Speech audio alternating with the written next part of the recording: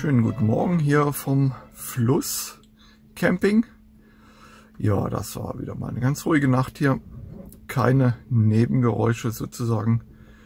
Und wir haben geschlafen wie die Murmeltiere. Zehn Stunden lang. Oh. Somit ist es jetzt auch doch etwas später schon. Nämlich äh, elf. Und ja, wir sind irgendwie immer noch bei der Morgenroutine dran wenn das Plätschern hört im Hintergrund. Die Alice ist am Duschen. Ich war auch schon. Ähm, weil die Dusche hier auf dem Platz, die ist doch ein Stück weg. Irgendwie ein Kilometer ist es, glaube ich, im zentralen Gebäude hier. Und äh, da haben wir keine Lust drauf hinzulaufen. Und somit mal duschen im Oski. Und das seit langem mal wieder. Äh, ich glaube, das erste Mal seit pff, Panama oder so. Oder noch vorher. Keine Ahnung. Ist jedenfalls schon eine Weile her. Heute ist mal das Ziel zuerst Akureyri. Akureyri ist die größte Stadt im Norden, und zwar weitaus die größte. Das hat, glaube ich, so um die 20.000 Einwohner. Und ähm, da wird man mal ein bisschen einkaufen noch und sicherlich mal einen Rundgang durch die Stadt machen. Und dann fahren wir weiter Richtung Norden äh, über eine Halbinsel Heute mal mit der analogen Karte zur Abwechslung. Also wir sind jetzt ungefähr hier. Und ähm, Akkurie ist da. Und dann fahren wir heute einmal da über dieses Ding drüber hier. Ich sehe jetzt nicht genau, wie das heißt. Tungna Büxjükül ist der höchste Berg. Ja, der ist schon, glaube ich, so leicht vergletschert sogar. Und ob wir jetzt dann den Nordspitz da nehmen über Siglufjördur oder ob man dann hier den Pass fahren, die Lackheidi, das müssen wir dann noch sehen. Machen wir ein bisschen wetterabhängig. Und ähm, das Ziel wäre dann heute irgendwie äh, das hier Sauderkrokur, Sauderkrokur, oder wie das heißt. Und dann sind wir dann schon so langsam Richtung Westfjorde unterwegs. Das ist hier drüben das Gebiet. Und ansonsten haben wir heute jetzt nicht wirklich einen Plan, was wir machen. Wir lassen uns einfach inspirieren von dem, was wir sehen. Jetzt habe ich gerade mal geschaut, ob in dem Fluss noch ein Lachs schwimmt. Aber nichts gesehen.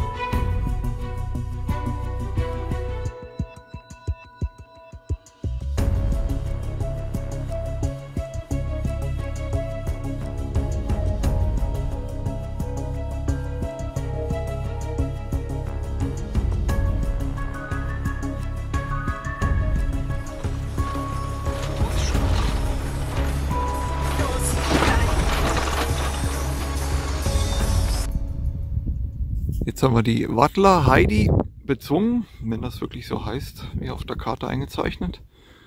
Und stehen hier überm Fjord und mit Blick auf die Großstadt Akureyri ist da.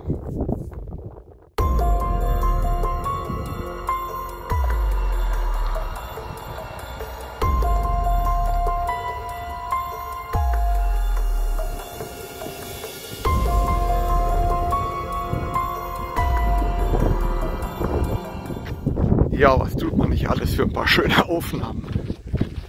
Alles hat's gut gemeint. Jetzt darf ich noch einen halben Kilometer laufen.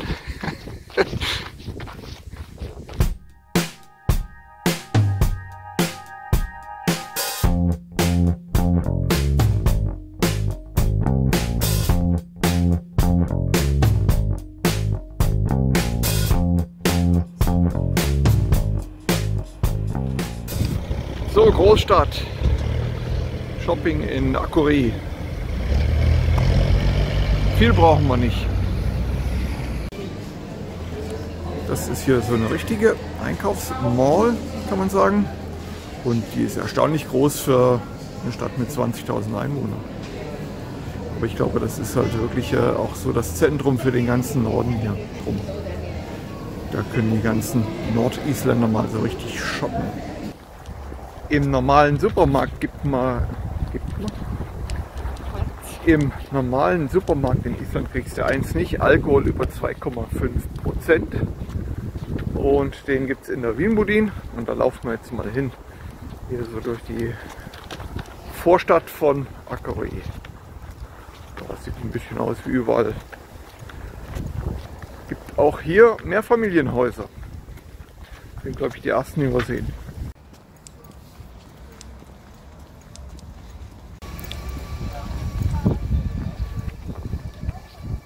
Sakure hat sogar eine Fußgängerzone. Und die Fußgängerzone ist dort vorn. Da laufen wir jetzt auch noch schnell hin. Einwohnerzahl hatte ich ja schon gesagt, 20.000 in etwa. Und eben das ist jetzt genau die Innenstadt hier. Es ist aber keine eigentliche Altstadt, kann man nicht sagen, weil Akure ist äh, noch nicht so lange so groß. Und darum gibt es jetzt auch keine echte Altstadt hier, aber immer eine Fußgängerzone. Und die Stadt ist eine der sonnigsten in Island und eine der wärmsten auch, weil das Wetter oft aus Westen oder Südwesten kommt. Und darum gibt es hier so eine Art Föhneffekt wie in den Alpen. Und es ist darum oft freundliches Wetter, wenn es woanders schlecht ist. Und das schlägt sich dann auch in den Temperaturen nieder.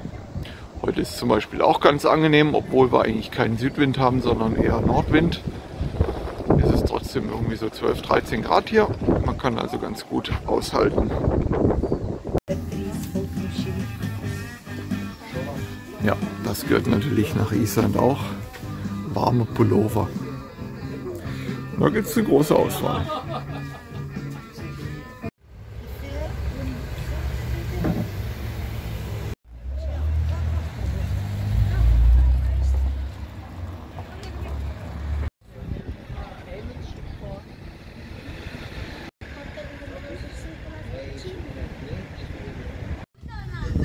Das ist jetzt die isländische Spezialität, ein Hotdog. Ja. Sie sagt, es sei der Beste in der Stadt. Probieren wir jetzt mal aus. Und gut.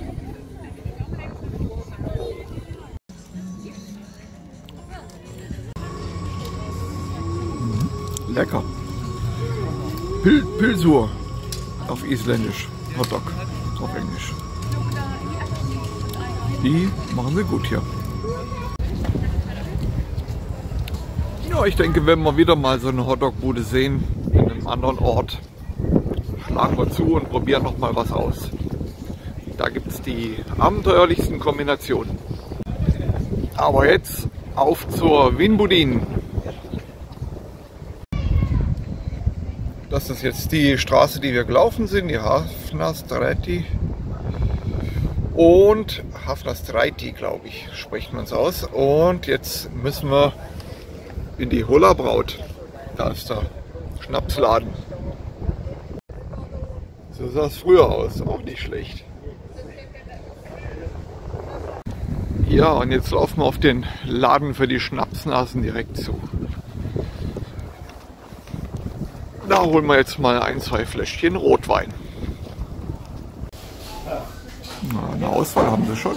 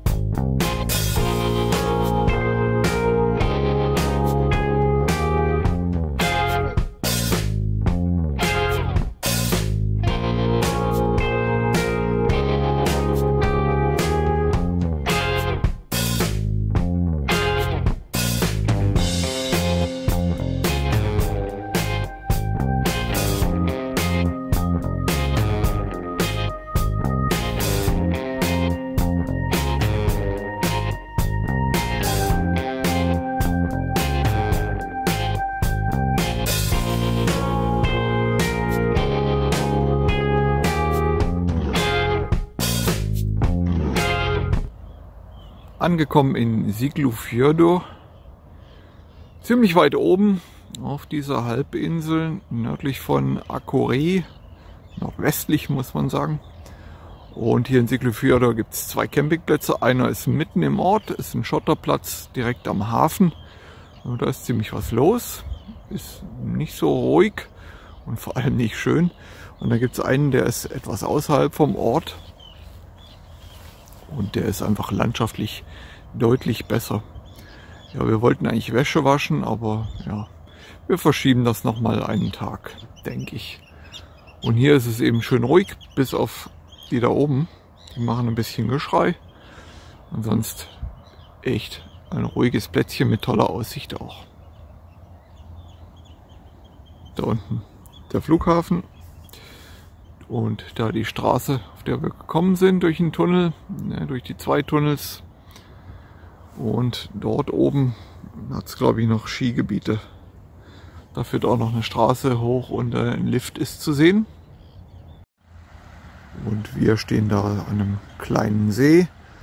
Und hinter dem See ein lupinenbestandener Lawinenschutzdamm. Tja, ich würde sagen, hier kann man es aushalten. Wind ist auch fast keiner. Temperatur 10 Grad. Wolkendeckel ist dicht. Aber es regnet nicht.